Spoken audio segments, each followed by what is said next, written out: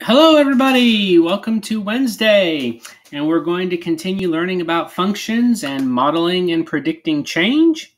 And what we're going to do today is we are going to learn how to write an equation of a line from a table.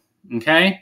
And so what you need to do is if you go to your Canvas assignment and just open up these slides, you're going to do them with me and then submit the answers when you're done.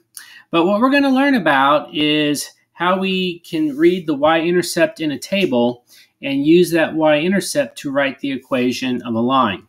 Okay, so I know when we did our notes uh, the other week on the y-intercept, if you remember, I said when we got to this point from a table that we were going to save a lot of this for another lesson.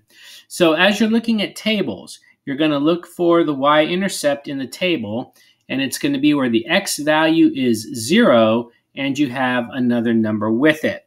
Okay? So if we come over here to our first slide, here we have a table of values. And I know that uh, last week you were typing tables of values into the Desmos graphing calculator, and you were finding the equation of the line that way.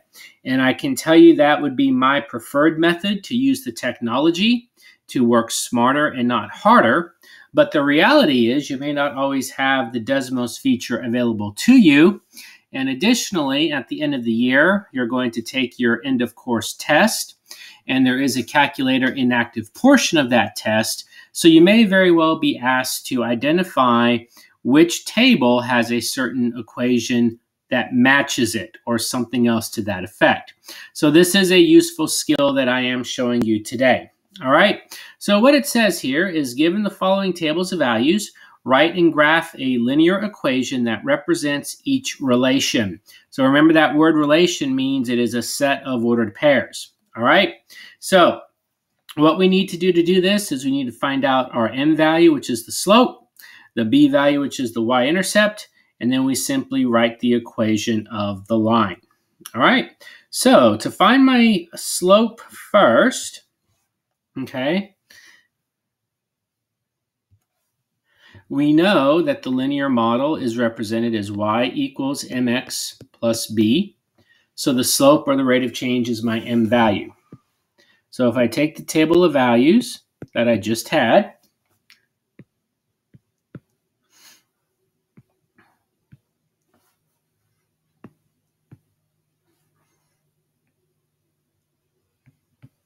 All right. And so when I have a table of values, I'm looking for the change in y over the change in x. And I write that as a ratio because slope is the ratio of the change in y over change in x. So when I start with y, I have 4, 6, 8, and 10. So my pattern here is I am increasing by 2. So that means my change in y is going to be 2. Then if I look here at my x values of 0, 3, 6, and 9, I am increasing by 3. So that means my x value there's, or my change in x is going to be a 3. So my slope for this particular table is 2 thirds. All right, so we'll come back to our slides over here and in our text box.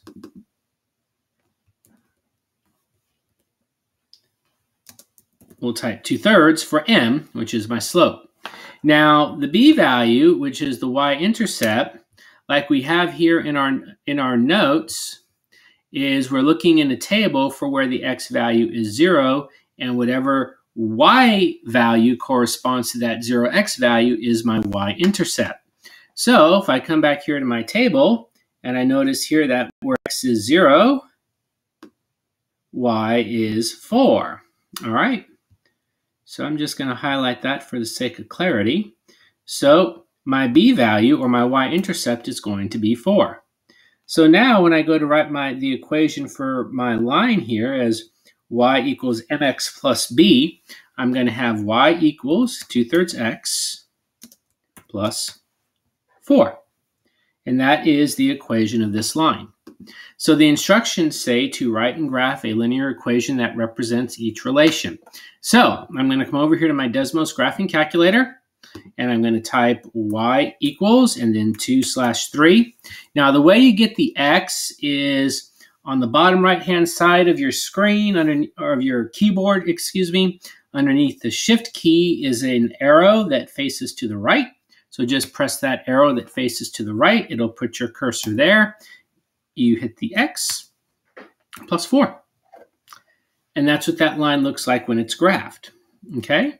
So then we're going to take a screenshot of this.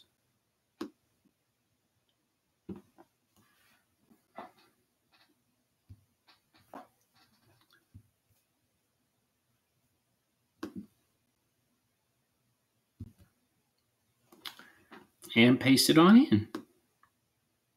So there is the line y equals 2 thirds x plus 4. And you'll notice here that your y-intercept, which is where your line crosses the y-axis, is at 0, 1, 2, 3, 4. Okay? So let's move on to the next example. All right. So this one says, given the following tables of values, write and graph a linear equation that represents each function. All right, so same thing. We'll start first with finding our slope again.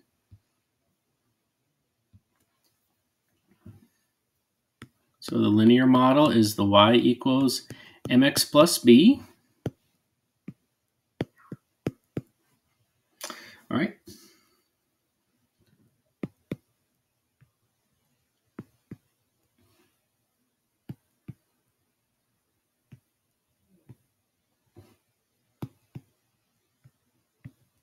All right, so again, I'm looking for my change in y over change in x. So my change in y, I'm going 5, 10, 15, 20. So I am increasing by 5. So the change in y is going to be 5.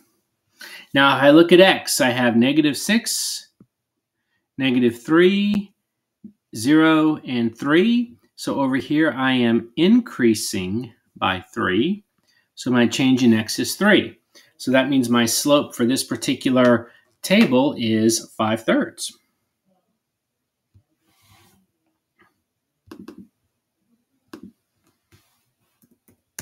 So m is 5 thirds.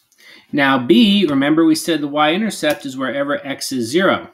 So if I look here at my table of values, I notice that up here x is 0 where y is 15.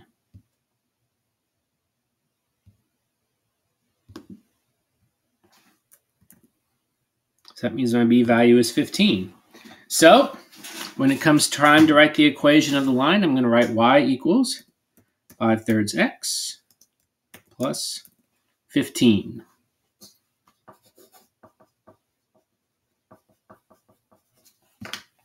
And then I'll go over here to Desmos. 5 slash 3. Again, use that right arrow key to move over there. X plus 15. Now for this one, you might just have to zoom out a little bit. But here again, you could put your cursor right there. And there's your y-intercept, 0, 15. It's the point where your line crosses your y-axis. So 0, 15.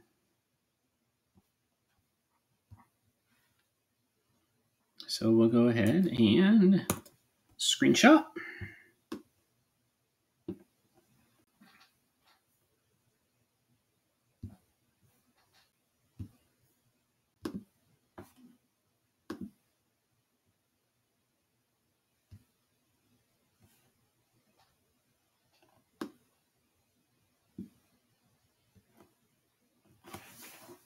And there you go. So there's a graph of the line.